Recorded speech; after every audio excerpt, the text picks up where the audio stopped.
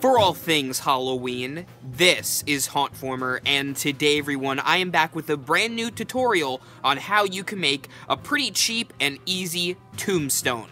Now, I made mine, I can't remember how much I spent on it, but you're only going to need some styrofoam, some styrofoam glue, and you know, basic paint and stuff. You can add as much as you want to this thing. I want to keep it really loose because your freedom with your imagination is what's important with this tombstone. Here's the one I made just so you can get an idea of what it's going to look like.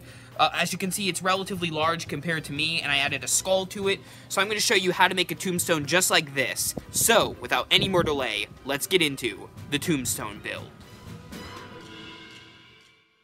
So you're going to start out with two foam pieces. Uh, one is going to be the base, and one is the actual headstone of this tombstone. You're also going to need some foam carving tools, some foam glue. You're also going to need moss. I got this at Dollar Tree. You're also going to need some stone textured paint. This can look like rust or just like more stone. And you're going to need some gray paint, and I used a little bit of black also. So the first thing that you're going to do is you're going to carve the stone to your liking. It just depends on what kind of stone you want. I wanted sort of a half round, half kind of um, rectangular kind of shape to it, but you do it any way you so desire.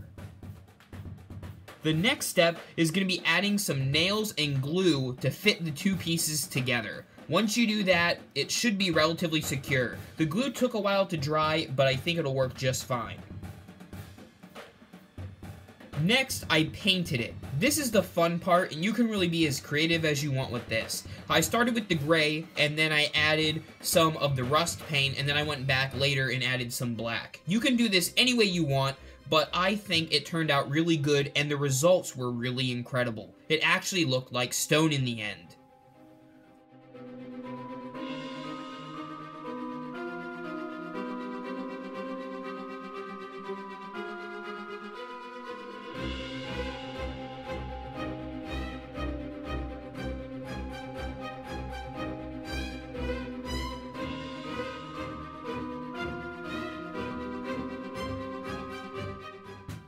I then went ahead and used some hot glue to add moss to the top and bottom of the stone. You can do this as much as you want. You can use any kind of moss you want. This was just the way I did it.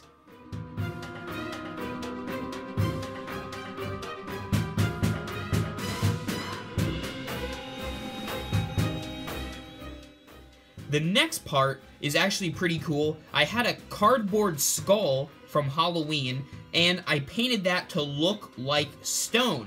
And after I did that, I used hot glue to secure it onto the headstone, and I think it added even more character to this tombstone. You can add, you know, any kind of things you want to this. You can add more multimedia. You could add lights to this. You could make it animated if you want. There's so many different possibilities, but this is a simple way to make a cheap and easy tombstone. And when you're all finished, you will have a really neat one.